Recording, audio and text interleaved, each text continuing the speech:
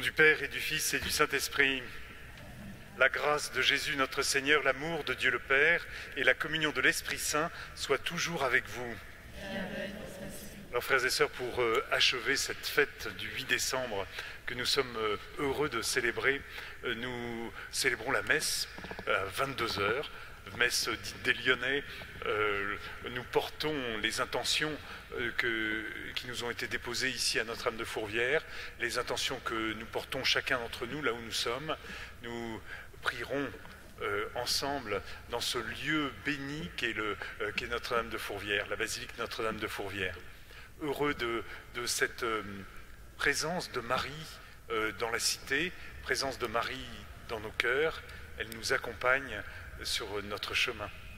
Alors, préparons-nous à la célébration de l'Eucharistie, nous allons écouter la parole de Dieu, nous allons le recevoir, euh, lui Jésus, dans le Saint-Sacrement de l'autel, et pour cela, reconnaissons humblement que nous sommes pécheurs.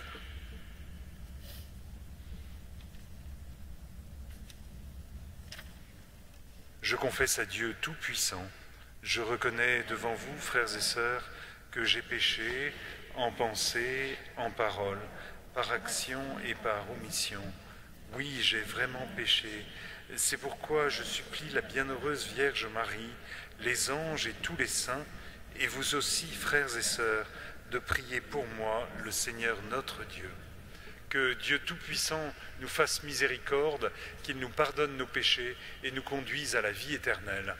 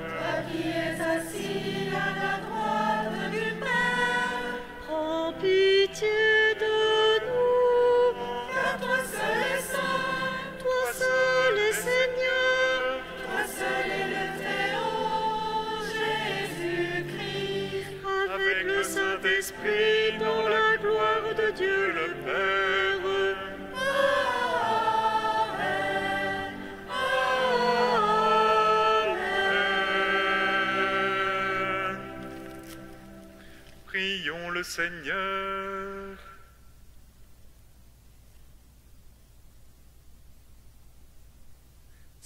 Dieu, tu as préparé à ton Fils une demeure digne de lui.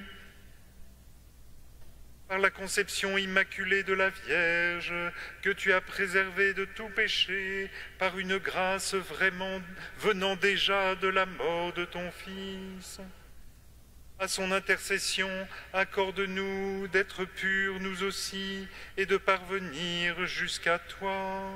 Par Jésus-Christ, ton Fils, notre Seigneur, qui vit et règne avec toi dans l'unité du Saint-Esprit, Dieu pour les siècles des siècles.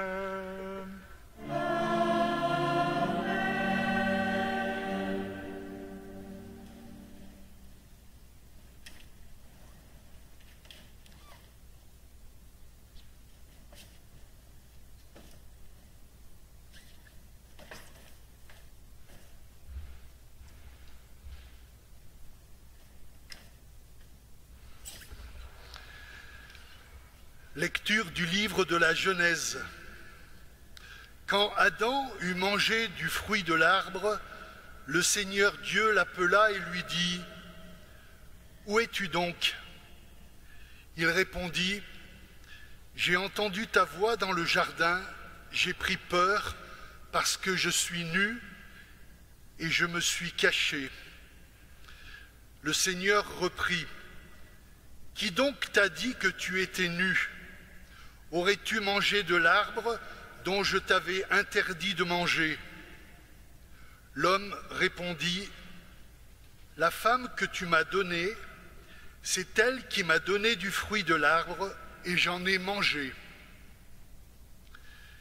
Le Seigneur Dieu dit à la femme, Qu'as-tu fait là?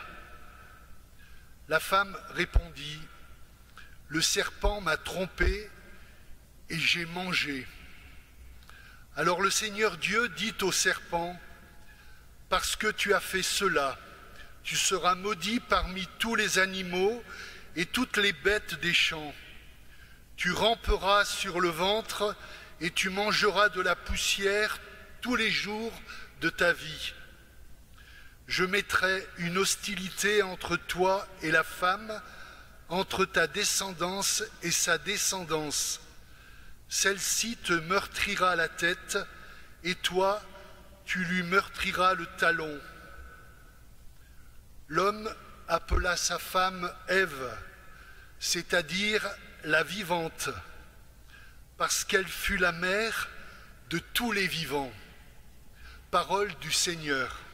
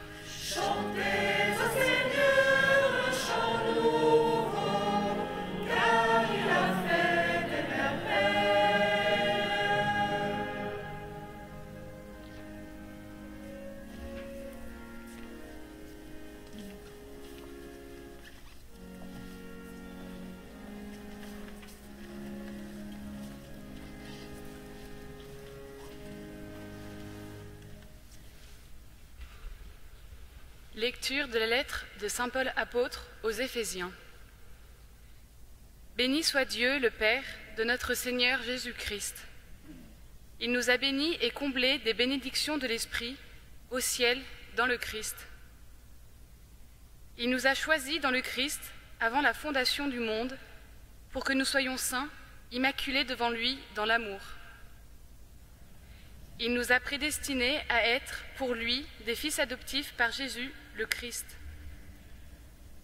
Ainsi il a voulu sa bonté, à la louange de gloire de sa grâce, la grâce qu'il nous donne dans le Fils bien-aimé. En lui, nous sommes devenus le domaine particulier de Dieu. Nous y avons été prédestinés selon le projet de celui qui réalise tout ce qu'il a décidé. Il a voulu que nous vivions à la louange de sa gloire, nous qui avons d'avance espéré dans le Christ. Parole du Seigneur.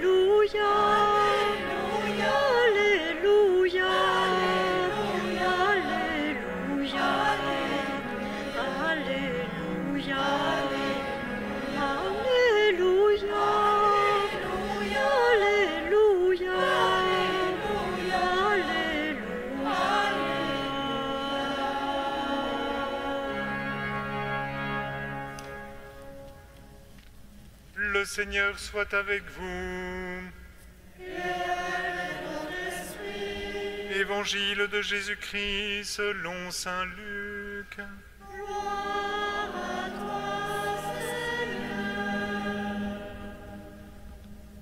Ce temps-là, l'ange Gabriel fut envoyé par Dieu dans une ville de Galilée appelée Nazareth à une jeune fille vierge accordée en mariage à un homme de la maison de David appelé Joseph. Et le nom de la jeune fille était Marie. L'ange entra chez elle et dit, Je te salue comblée de grâce, le Seigneur est avec toi. À cette parole, elle fut toute bouleversée, et elle se demandait ce que pouvait signifier cette salutation. L'ange lui dit alors, Sois sans crainte, Marie, car tu as trouvé grâce auprès de Dieu. Voici que tu vas concevoir et enfanter un fils. Tu lui donneras le nom de Jésus. Il sera grand, il sera appelé fils du Très-Haut. Le Seigneur Dieu lui donnera le trône de David, son père. Il régnera pour toujours sur la maison de Jacob et son règne n'aura pas de fin. Marie dit à l'ange, comment cela va-t-il se faire, puisque je ne connais pas d'homme? L'ange lui répondit, L'Esprit Saint viendra sur toi, et la puissance du Très-Haut te prendra sous son ombre. C'est pourquoi celui qui va naître sera saint, il sera appelé Fils de Dieu. Or, voici que dans sa vieillesse, Élisabeth, ta parente, a conçu, elle aussi, un fils, et elle en est à son sixième mois, alors qu'on l'appelait la femme stérile, car rien n'est impossible à Dieu. Marie dit alors, Voici la servante du Seigneur, que tout m'advienne selon ta parole. Alors l'ange la quitta. Acclamons la parole de Dieu.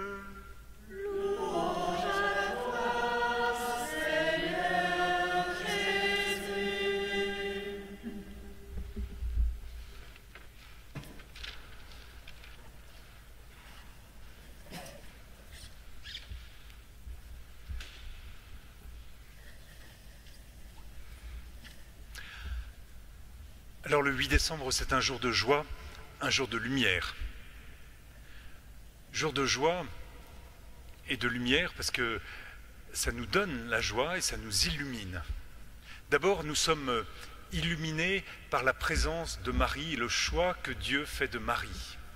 Et nous avons entendu le, ce texte de l'Annonciation où euh, le Seigneur vient proposer humblement à Marie d'être la mère du Sauveur, et elle, une, une jeune femme de, de, Naza- de Nazareth, un, endroit qui était inconnu de, toute la Bible, et l'ange vient chez elle et, se met disponible, quoi, le tout vulnérable à, sa réponse, ce qui est incroyable.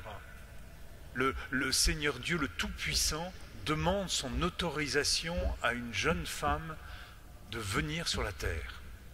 Et, le- et là, on est euh, euh, plein de joie de la réponse de Marie, qu'il me soit fait selon ta parole. Et le- elle, est, elle est là, elle, est, elle répond, elle, adhère à la volonté de Dieu, elle, met toute sa vie au service de Dieu, elle met toute sa joie aussi, et on la verra euh, juste après, puisque dans cette annonciation, il y a aussi l'annonciation que, l'ange lui prévient que euh, sa cousine Élisabeth en est à son sixième mois, elle va partir en Judée, elle va traverser la Judée pour aller rejoindre sa, cousine Élisabeth, et, et là sa joie va exulter avec euh, ce chant splendide du Magnificat. Et euh, si vous êtes un peu attentif et que vous avez visité la basilique, le Magnificat est, écrit tout en haut, des, euh, tout au, pied des, coupoles de la, basilique, pour que, comme ce chant de Marie, cette joie de Marie soit inscrit ici dans la basilique de Fourvière. La joie. Joie de voir cette réponse de Marie et de contempler Marie, de, voir que euh, nous est euh, euh, donnée pour être la mère du Sauveur et elle, fait une œuvre extraordinaire qui est de nous donner Dieu et que Dieu a voulu passer par elle. Voilà, ça, c'est la première joie. La deuxième joie, c'est son intercession et c'est de voir que elle devient, comme on l'a entendu, on a entendu dans la première lecture, dans la Genèse, Adam qui appelle euh, Ève la mère des vivants. Et cette mère des vivants, euh, nous le reconnaissons dans, l'Église, nous reconnaissons Marie comme étant la mère de, de chacun d'entre nous au pied de la croix. Euh, Jésus lui a confié Jean et Jean a été confié à Marie. Marie a été confiée à Jean et les premiers théologiens ont reconnu que en devenant sa mère, la mère de Jean, elle devenait aussi la mère de chacun d'entre nous. Et elle nous est donnée comme mère pour euh, veiller sur nous. Et ça, c'est, le, c'est également le, euh, cette lumière qui vient de Fourvière et qui euh, nous- la montre comme cette protectrice. Mais protectrice, pourquoi? Parce que la toute petite, qui a pu répondre à Dieu, elle nous entraîne, nous aussi, à répondre à Dieu. Et quand on répond à Dieu, quand on est entraîné de, cette manière-là, dans, dans- cette joie et cette lumière, euh, nous ne pouvons que correspondre à la volonté de Dieu. Si, si. Si, si. euh, on, est quand même moins doué que Marie, ça c'est sûr. On a, on, a, on a des gros défauts, on a des, euh, des blessures, on a des péchés, mais elle nous entraîne vers le haut. Elle nous, elle nous donne de, euh, de vivre cette, euh, cette vie chrétienne. Et, quand nous la fréquentons, nous sommes élevés. Et puis, cette troisième joie que je voulais partager avec vous, hein, la, joie de, voir Marie répondre oui, la, joie qu'elle soit notre mère, et puis la joie de voir que nous aussi, nous sommes appelés, quand on contemple Marie, nous sommes appelés à réaliser la volonté de Dieu et à transmettre, à donner Jésus au monde. Je ne sais pas si vous vous rappelez un moment dans l'Évangile, on prévient le Jésus que euh, sa mère et ses frères et sœurs sont, à l'extérieur, qu'ils l'attendent, et, lui dit, mais qui est ma mère? Qui sont mes frères? Et regardant ses disciples, il dit, voici ma mère, voici mes frères. Et de la même manière, j'ai envie de dire, Marie est là, mais Jésus nous regarde et nous dit, qui est ma mère, qui sont mes frères? Ceux qui font la volonté de Dieu, voici ma mère, voici mes frères. Et quand il désigne ses disciples, il nous désigne nous aussi. Parce que en la contemplant, en la fréquentant, nous devenons, j'ai envie de dire, euh, comme elle, mère, frère de Jésus. Et c'est-à-dire que nous sommes appelés à être épanouis et à donner la vie autour de nous.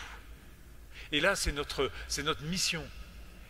Et, frères et sœurs, on, a une mission par notre baptême et par cette joie qui nous est donnée, euh, une mission qui nous épanouit, qui nous, qui nous rend très heureux. Alors, cette fête de l'Immaculée Conception, c'est euh, c'est c'est une joie, c'est une lumière, parce que ça nous redonne notre dignité.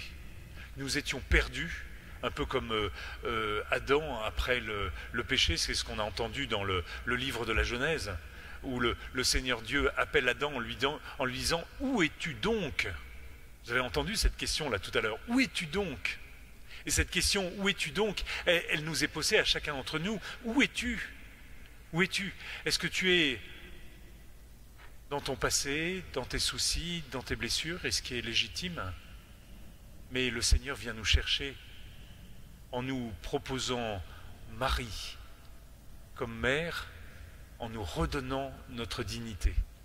Et cette fête de l'Immaculée Conception, de contempler Marie, c'est pas pour euh, dire que elle, est tout là-haut et puis euh, bon, elle est, elle est perdue là-haut et non, c'est pour euh, nous dire qu'elle est toute proche de nous, de chacun de nous, et qu'elle nous donne la grâce d'être des fils et filles bien-aimés de Dieu, la grâce d'être aimés, la grâce d'être heureux. Amen.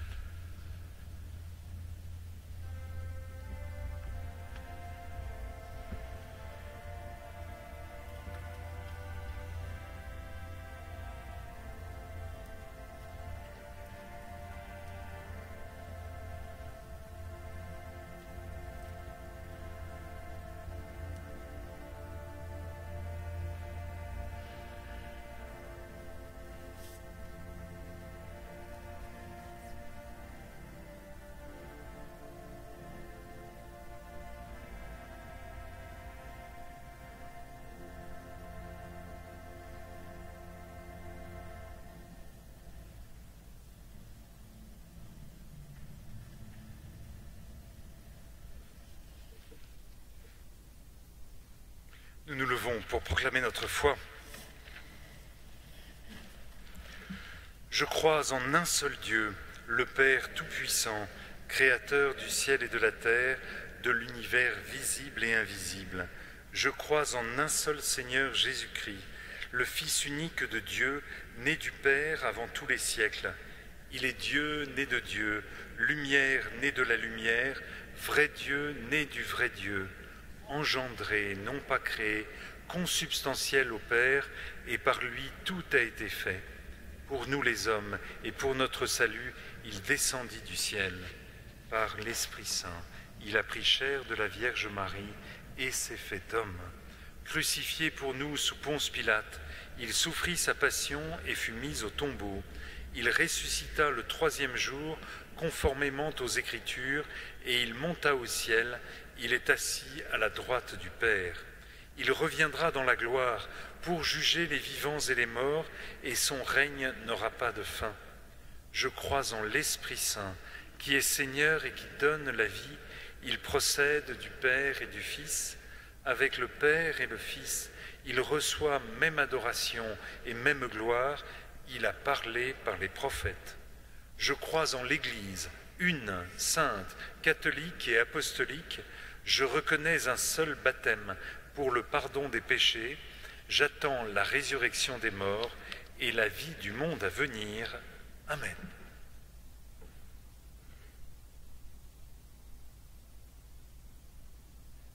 Tandis que nous attendons l'avènement de notre Seigneur Jésus-Christ, implorons sa miséricorde pour qu'il apporte le salut au monde d'aujourd'hui.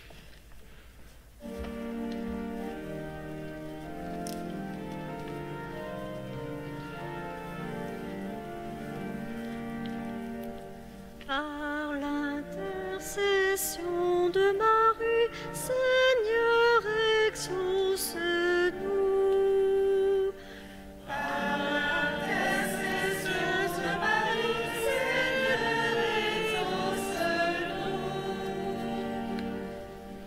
Il s'est rappelé sa fidélité, son amour. Prions pour que grandisse l'amour fraternel entre les responsables de toutes les églises, que les disciples du Christ proclament fidèlement l'évangile de la joie. Prions le Seigneur.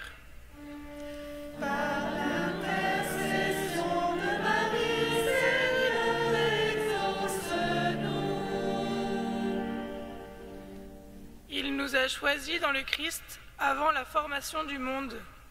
Prions pour que les dirigeants politiques reçoivent le don de la vie comme, un magnifique don de Dieu. Puisse-t-il la protéger et prendre soin des personnes les plus fragiles. Prions le Seigneur.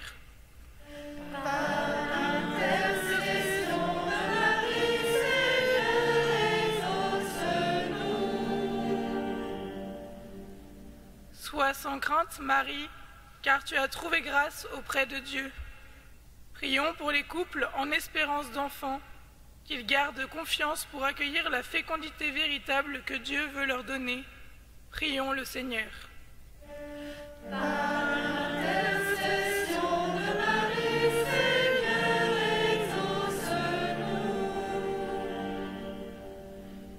Voici la servante du Seigneur, que tout m'advienne selon ta parole.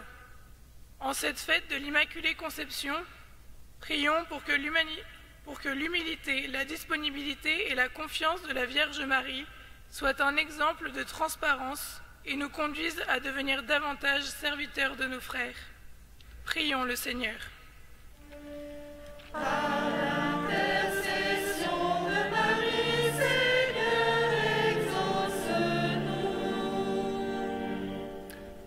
Pendant cette messe, nous prions aux intentions qui, nous ont, été, déposées à Notre-Dame de Fourvière et euh, qui ont été déposées au pied de l'autel. Nous prions aussi aux intentions qui nous ont été euh, remises pour cette messe de 22 heures. Une intention particulière pour Daniel et Pierre, pour Paulette Dessaigne et sa famille, pour Janine et Yann Kowalski, pour euh, Régis et enfin pour Pierre Thomas, décédé aujourd'hui.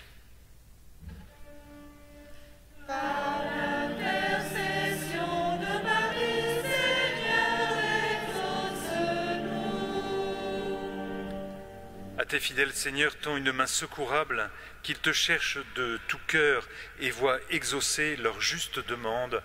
Par Jésus le Christ notre Seigneur.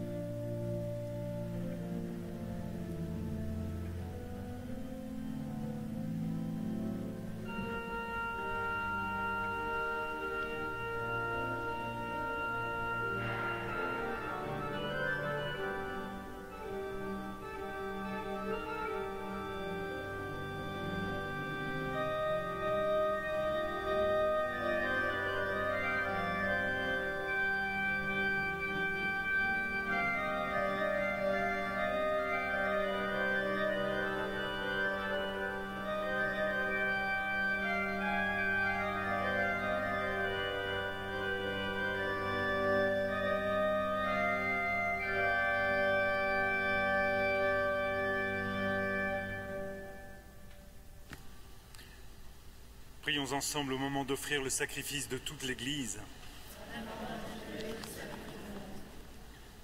Accueille, Seigneur, avec bienveillance le sacrifice du salut que nous t'offrons en fêtant la conception immaculée de la bienheureuse Vierge Marie, puisque nous reconnaissons que la prévenance de ta grâce l'a gardée pure de tout péché.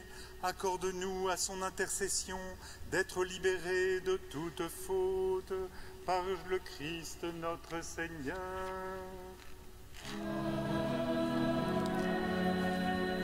Le Seigneur soit avec vous. Élevons notre cœur. Grâce au Seigneur notre Dieu. Vraiment, il est juste et bon pour ta gloire et notre salut de t'offrir notre action de grâce, toujours et en tout lieu, Seigneur Père très saint, Dieu éternel et tout-puissant, car tu as préservé la bienheureuse Vierge Marie de toute souillure du péché originel. Tu l'as comblée de ta grâce en plénitude pour préparer en elle une demeure vraiment digne de ton Fils et manifester l'origine de l'Église, l'épouse sans tache ni ride, resplendissante de beauté. Cette Vierge très pure devait nous donner le Fils, l'agneau innocent qui effacerait nos fautes. Pour ton peuple, tu l'as disposé à être parmi toutes les femmes, l'avocate de la grâce et le modèle de la sainteté. C'est pourquoi, unissant nos voix à celles des anges, nous te louons dans la joie en proclamant.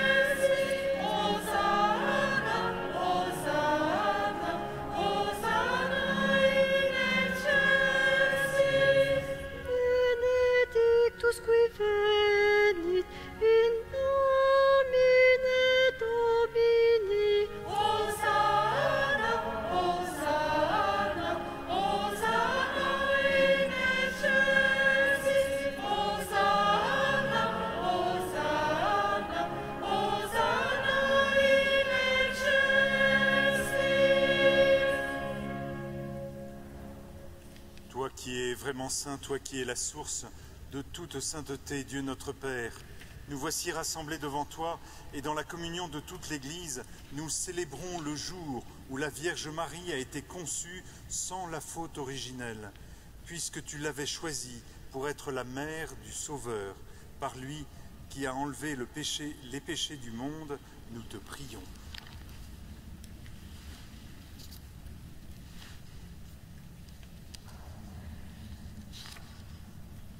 Sanctifie ces offrandes en répandant sur elles ton esprit, qu'elles deviennent pour nous le corps et le sang de Jésus le Christ, notre Seigneur.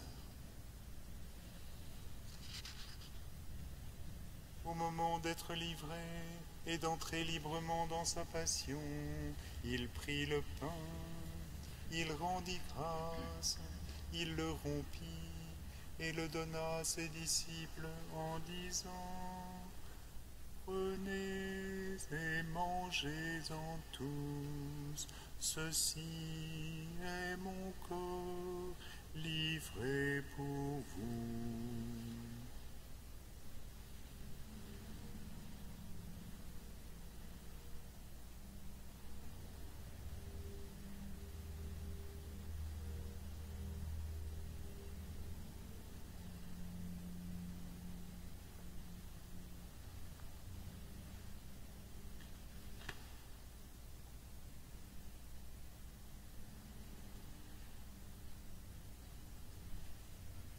De même. Après le repas, il prit la coupe, de nouveau il rendit grâce et la donna à ses disciples en disant Prenez et buvez-en tous, car ceci est la coupe de mon sang, le sang de l'alliance nouvelle et éternelle, qui sera versé pour vous et pour la multitude en rémission des péchés. Vous ferez cela en mémoire de moi.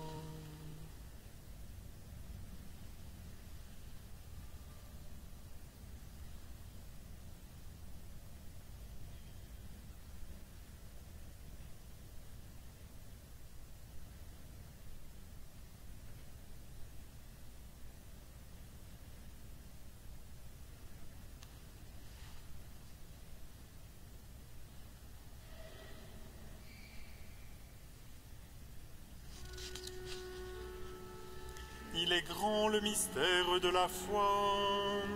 Nous annonçons ta mort, Seigneur Jésus. Nous proclamons ta résurrection. Nous attendons ta venue dans la gloire. En faisant ainsi mémoire de la mort et de la résurrection de ton Fils, nous t'offrons, Seigneur, le pain de la vie et la coupe du salut, et nous te rendons grâce, car tu nous as estimés dignes de nous tenir devant toi pour te servir. Humblement, nous te demandons qu'en ayant part au corps et au sang du Christ, nous soyons rassemblés par l'Esprit Saint en un seul corps. Souviens-toi, Seigneur, de ton Église répandue à travers le monde. Fais-la grandir dans ta charité, en union avec notre pape François, notre évêque Olivier, ses auxiliaires Patrick et Emmanuel, et tous les évêques, les prêtres et les diacres. Souviens-toi aussi de nos frères et sœurs qui se sont endormis dans l'espérance de la résurrection, et souviens-toi dans ta miséricorde de tous les défunts. Accueille-les dans la lumière de ton visage. Sur nous tous, enfin, nous, implorons ta bonté. Permets qu'avec la Vierge Marie, la bienheureuse Mère de Dieu, avec Saint Joseph, son époux, les apôtres et tous les saints qui ont fait ta joie au long des âges, nous ayons part à la vie éternelle et que nous chantions ta louange et ta gloire par ton Fils Jésus le Christ. Par lui, avec lui et en lui, à toi, Dieu le Père Tout-Puissant, dans l'unité du Saint-Esprit, tout honneur et toute gloire pour les siècles des siècles.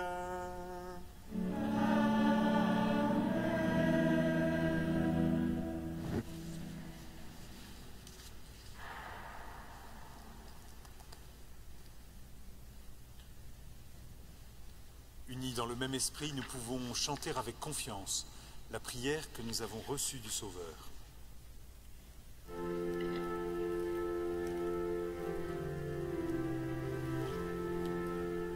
Notre Père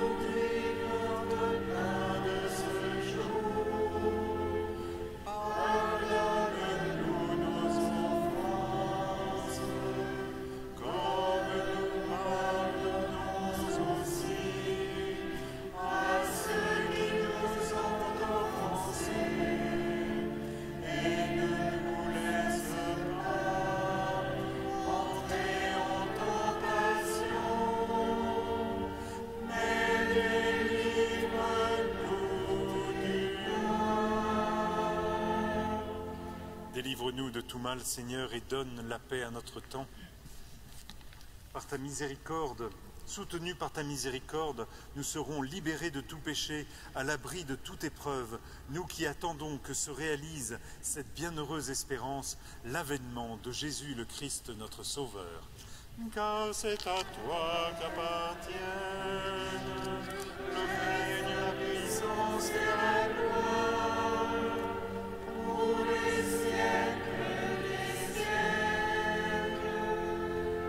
Seigneur Jésus-Christ, tu as dit à tes apôtres, je vous laisse la paix, je vous donne ma paix.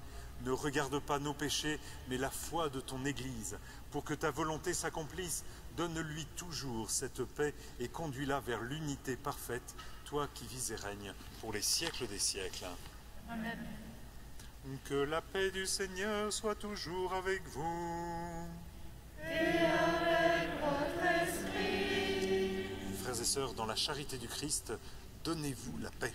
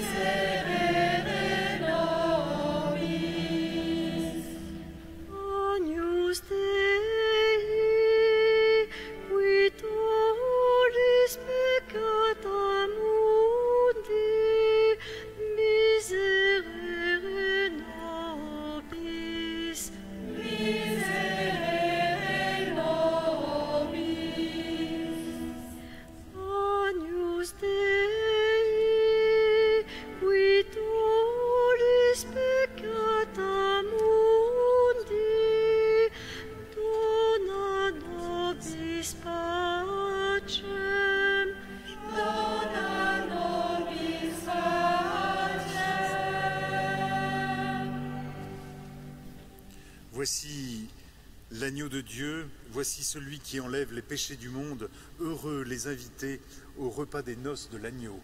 Seigneur, je ne suis pas digne de te recevoir, mais dis seulement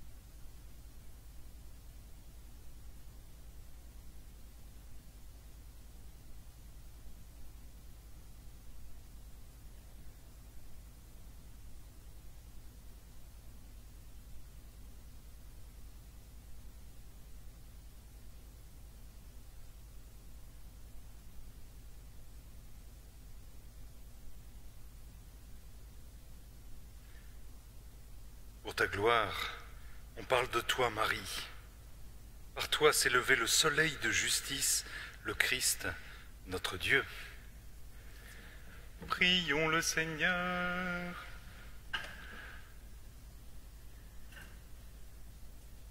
Que notre participation à ces sacrements, Seigneur notre Dieu, guérisse en nous les blessures de la faute originelle, dont tu as préservé de manière unique la bienheureuse Marie, en sa conception immaculée, par le Christ notre Seigneur.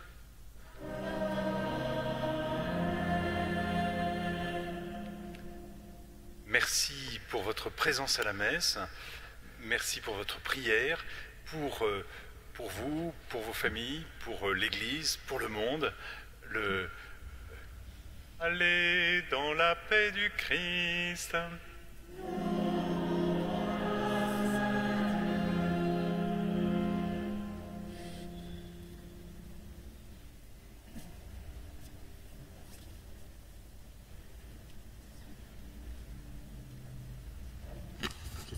Vous pas béni. Le Seigneur soit avec vous. Et que Dieu Tout-Puissant vous bénisse, le Père, le Fils et le Saint-Esprit.